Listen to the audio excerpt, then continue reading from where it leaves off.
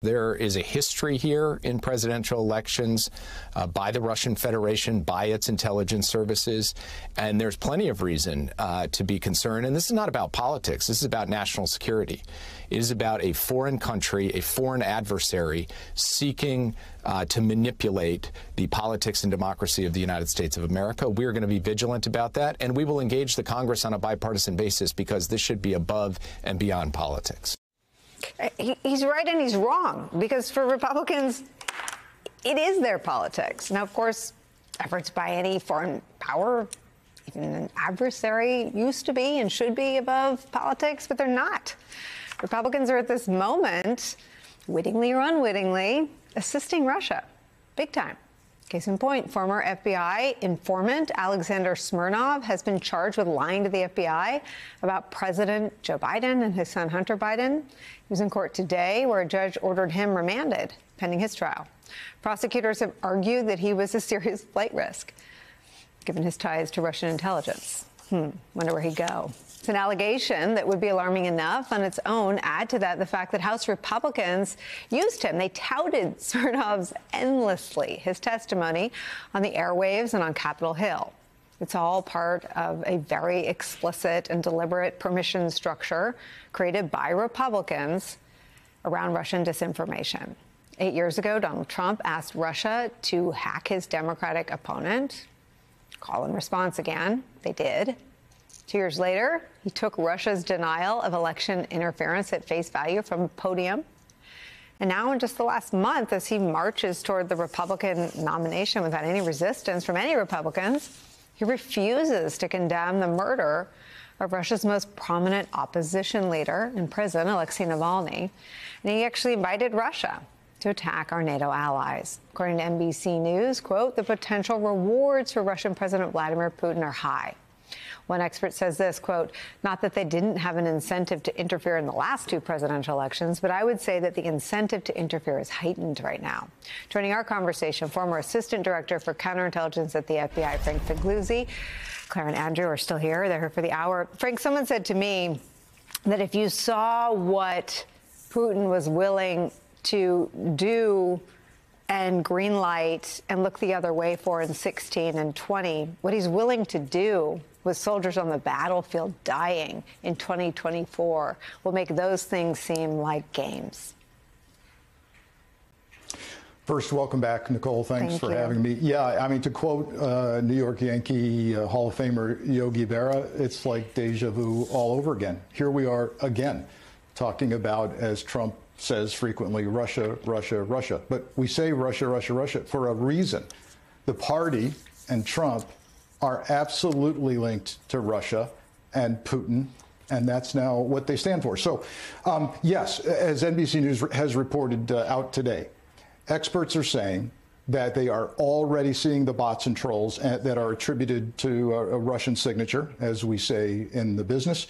And yes, Exhibit A of a non cyber uh, attempt would be Alexander Smirnov in court today in California, who prosecutors assert has absolutely strong ties to multiple Russian intelligence affiliated persons, if not actual Russian IOs themselves, who are been, have been passing him disinformation.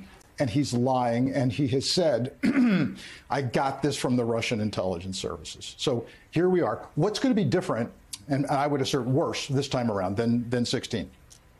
Couple of factors. First, technology. Artificial intelligence, AI, um, is going to allow deepfakes. And already, we've already seen this in a phone call, a robocall pretending to be Joe Biden up north.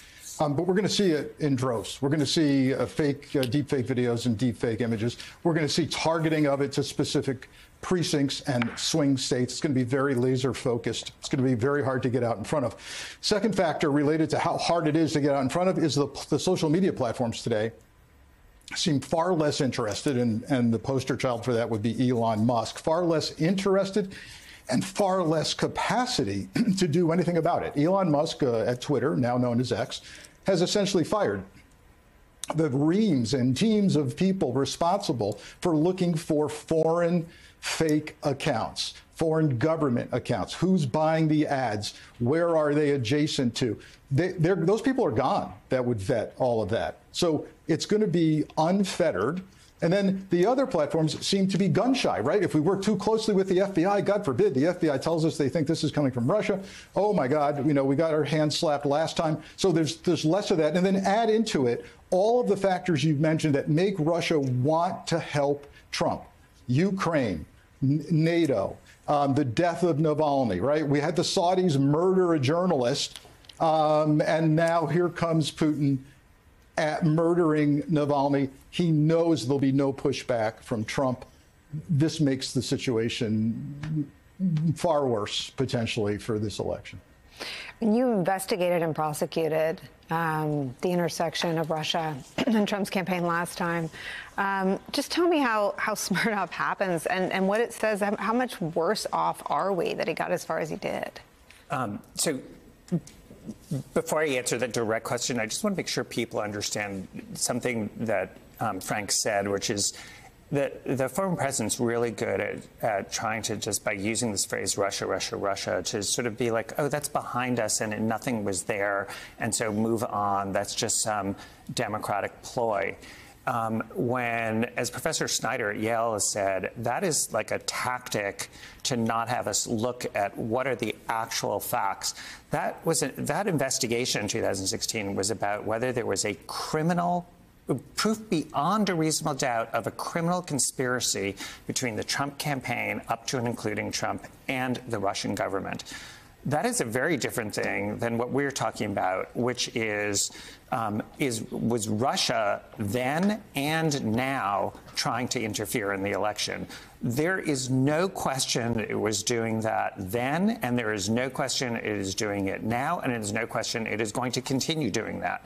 That is a given. And as you pointed out, not only does Putin need it, because if Donald Trump wins, Ukraine is over. Let's just call it what it is. Correct. And Trump needs it because if he wins, the federal cases are over and the state cases are on ice. So the confluence of interests is, couldn't be stronger.